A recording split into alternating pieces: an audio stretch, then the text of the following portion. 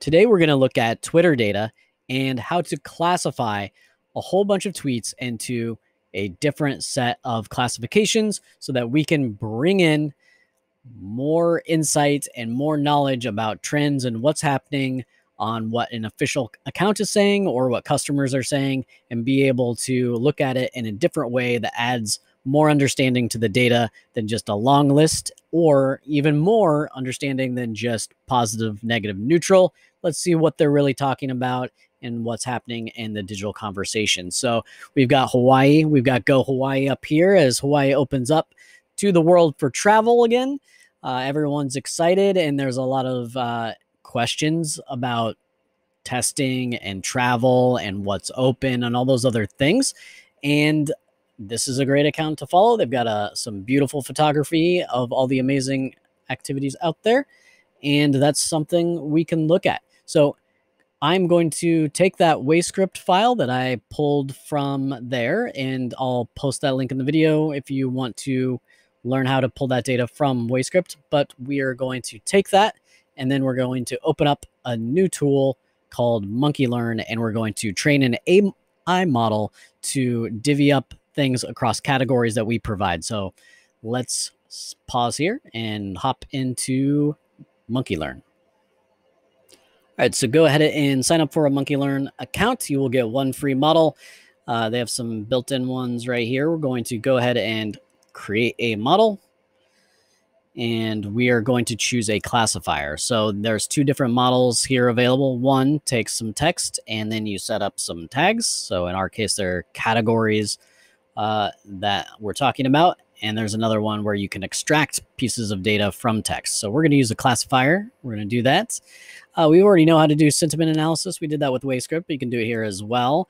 Uh, another variation would be intent classification. So that's pretty great. Also, if you were looking at all those ats, you could see, is this a, a complaint? Is this a request? Is this feedback?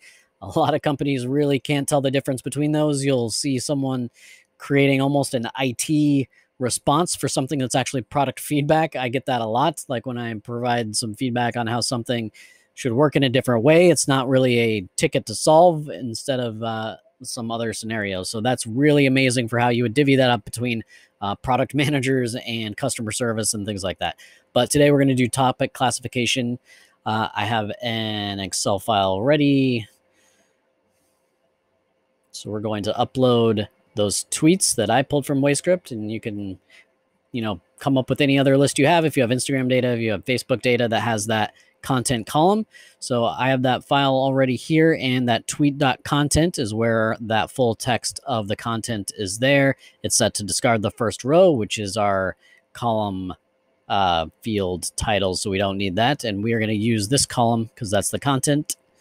And I'm going to scroll down here to find the continue button. It's going to go ahead and upload that data.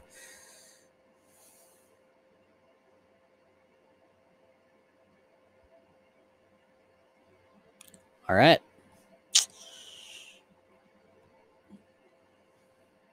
So now we need to come up with the tags. So we really need to think through what data we have. Uh, so in that Twitter data and everything that's happening with this account, try to find where we have our uh, content. So we'll scroll to the top. Here we go. So I'm seeing CVS Health, COVID 19, questions, layovers, things about travel, taxis, uh, quarantine, mostly things involving that, accommodations, uh, ferries, and some more travel waterfalls and hikes. That's a big one. So outdoors activities, um, fishing, more outdoors. Uh, the aquarium, the Maui Ocean Center, really great one. Uh, Iao Valley State Park, that's an excellent hike on Maui and West Maui. Uh, World Reef Day as a scuba instructor, definitely an awesome one. Protect our reefs and definitely visit them, especially in Hawaii. So, yeah, lots of cool stuff to check out. I think I've got a good idea. So, it's a really uh, important to have not too many tags and not too few, like enough where you can divvy things up into something where you're going to be able to tell trends. So if I ran this last year and it had something on health and travel, probably wouldn't have much of a trend. So I would uh, definitely uh, scale up uh, this year. So I am actually going to break it up into uh, COVID related. Outdoors was another theme I saw there uh, travel related, like shuttles, taxis, layovers, things like that. So I'm going to add that. Um, I'm sure we're going to get a few wedding ones. That's probably good. Maui's a very popular honeymoon destination. I would put all of that in the wedding category, even if it's just a honeymoon. Um, because this is a, about good. I'm trying to think of what else we could do. Maybe history is pretty interesting. There's some museums there, like on the sugarcane and uh, the royal family of Hawaii back in the day and that sort of thing. So a lot of cool stuff there. Uh, so I'm going to go with that. And so now we need to train the model. So the alternative to doing this is just going to an Excel file and adding in the categories, and that's great if you're only doing like 50. Uh, if you are doing 2000, like hopefully it'll let me do as I uh, put in that many tweets for the account. Uh, it's a little bit easier to train it with maybe 50 tags and then it can figure out what the rest are. So that's the power of AI. And it's not perfect, but it's definitely easier than one by one doing that 2000 times. So let's see, what do we got here? We can search the data. So I'm going to search for COVID 19 and go through a few of those and tag that COVID. And uh, the key here is like, yeah, it'll figure out the word COVID, but what are the other things around that that are trained in the AI model? So it'll probably note uh, note that uh, crisis or even CVS things like that because that's a, an approved testing provider uh, go along with that. So even if it didn't said co- even if it didn't say COVID nineteen and it said CVS Health, it should pick that up after a while of me tagging a few of these. So I'm gonna tag, um, hopefully enough to get some understanding of the context in there, and the model can learn.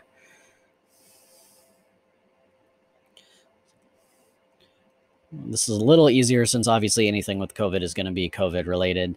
Uh, so I'm going to add, let's do the CVS one. Uh, and I'm going to do that. Skip. That's a humpback whale. That's outdoors. uh, 3,600 feet of views. I'm going to guess that's outdoors as well. Uh, let's see. Let's do that reef one. Outdoors, that's not COVID. Needs a little more training. Um, let's do shark. Snorkeling outdoors. Oh, food. That would have been a good one to add. Let's add food as well. Uh, there. Oh, there's the extra name. So, little culinary delights of the Hawaiian Islands. So we're gonna uncheck that, do food, and awesome. Let's try pineapple. Add that to food. Add that to food. trail outdoors. So I've got that one. Uh, hiking on Haleakala, the dormant volcano. That's outdoors. And let's do waterfalls. Some weird capitalization. Outdoors, outdoors, outdoors, outdoors. Okay, so cool. So now we can name the model. So we're going to do this. Uh, called Hawaii Travel. So it gives you the option to keep training it, which we're going to do, or you can test it and see if it'll make the classifications. I am not confident that it totally knows what to do yet, so I'm going to keep doing that. Uh, and let's see if we can find something else. So let's search for tests. Yeah, that's going to be COVID. Cool. Um, all right. How about scuba? We're going to call that outdoors. I'm going to call that one outdoors. Uh, let's see.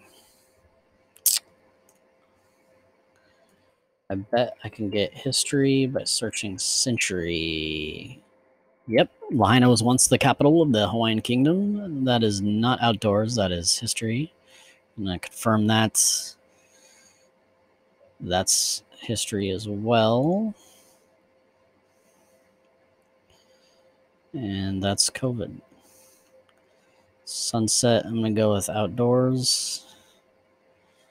And that's COVID. History.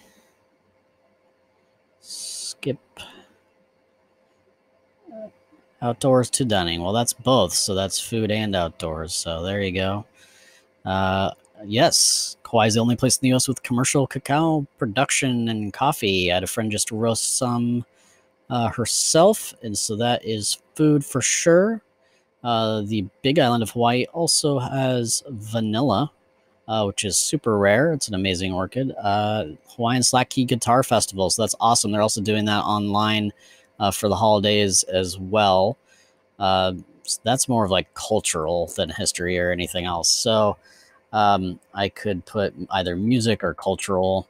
You don't have to create too many of these, um, but enough that you think will be helpful. So I'm going to mark that cultural and confirm. Nightly torch lighting, that I'm going to call cultural as well. That's really cool, especially on Black Rock on Maui on Kaanapali, And that. So let's skip that one and go. So, all right, let's call that outdoors also. Cool. So now we've got a substantial number of tags there. So it's telling you how to use the model and how that works. So we've got a lot of that stuff. So awesome.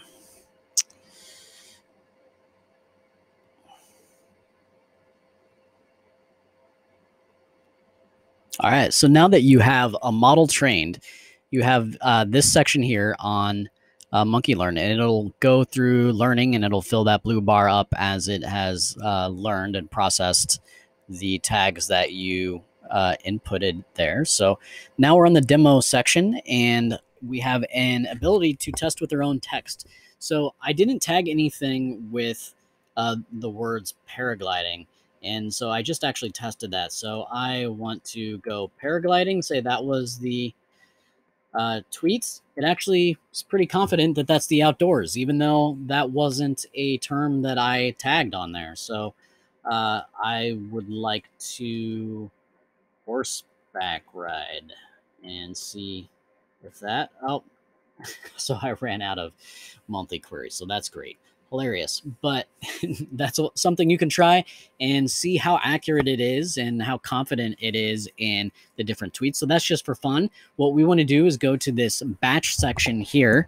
And because you may have more than 300 tweets, which is the maximum of uh, the queries that MonkeyLearn is going to let you use on the free plan, open up your Excel file again in, in Excel, uh, not here, and then uh, save as a new file whatever those tweets are. Uh, tweets Hawaii for me, 300.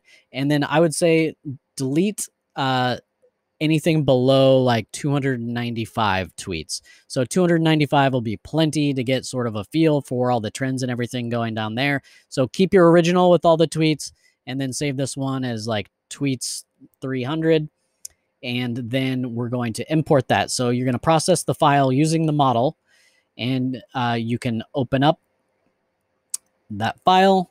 So pick tweets 300 and let that run. Uh, I just did so it may have stopped me, but it'll do the same thing we did before with discard first row and use this column. Uh, so that's kind of how we trained it before, but now you're running it on everything. You're not just, you know, one at a time choosing 20 or 30 things to train it. This is the real deal. You're going to do all 300. Uh, or if you paid 299 for the pro plan, you can do all 3000. Uh, and if you want to buy me an account that I can do that too, that'd be great. But so it'll then say processed batch and you can open up to see what MonkeyLearn delivered for our classifications on our nearly 300 tweets to see what happened. So similar to that sentiment score we ran in WayScript, which is still here because it was the same file, we now have two new columns at the end. We have the classification and the confidence level. So you could choose to exclude things that were under a certain confidence level if you want to be sure that it is uh, one or the other. There are a lot of COVID. There's some outdoors. Oh, I see us food and uh, history and uh, yeah, a lot of outdoors. So good. It's not all COVID. So maybe someone wants to get out there and, and go on a hike as well. Uh, and got even one with uh, multiple as well. So there you go. Now you have 300 tweets classified a lot faster than you could do that individually. Uh, and that's a lot of fun. So, MonkeyLearn is one way to classify everything in a new and fast way. You could do it old school in Excel, but this is pretty fun. So, give this a go.